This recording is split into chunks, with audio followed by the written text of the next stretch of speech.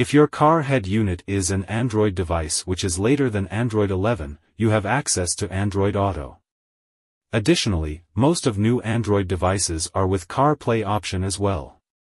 Today video is about how to connect Android Auto and CarPlay with the car head unit. Stay with SetNFix. If you already have an Android car head unit, you know there are two USB inputs. When you check those USB connectors, you can see small different between two connectors. Check closely, one connector is bigger than the other, or one is like square and the other one is like rectangle. We need to understand that we can connect any USB device with both USB ports without any issue. But, if you connect an iPhone to activate CarPlay, you have to use the USB connector with big slot. Select the correct USB cable and connect the iPhone with car stereo unit. Connection speed and the respond is depend on the smoothness of the car head unit. I had no issue with my device as it is always responded once the USB is connected. Under the CarPlay, you can use navigation option, phone contacts, WhatsApps including Siri Assistant as well. This facility is helpful to drivers when operating mobile phone.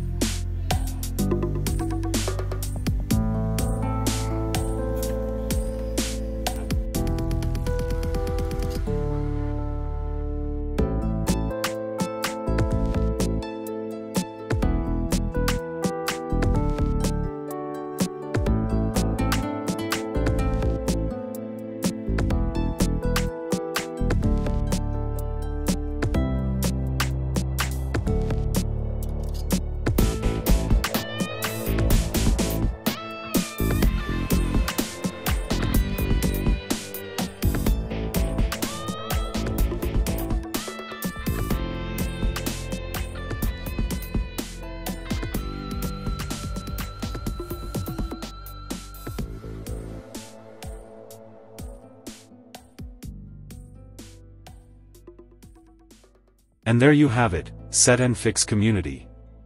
We've successfully navigated the tech highway and connected CarPlay and Android Auto to our car head unit. Give yourself a virtual high five because you are now the master of on-the-go connectivity. I hope this step-by-step -step guide has made the pairing process a breeze for you. Now, before you shift gears and head out on the road, let's wrap things up. If you found this video helpful, don't forget to show some Set and Fix love by hitting that like button. And if you're not part of the Set and Fix family yet, well, what are you waiting for? Hit subscribe and ring the notification bell. We've got more car tech tips, fixes, and awesome gadget connections coming your way. and I want you to be the first to know. Now, here's the pit stop for your thoughts. Have you successfully linked your CarPlay or Android Auto? Any troubleshooting tips or awesome features you discovered?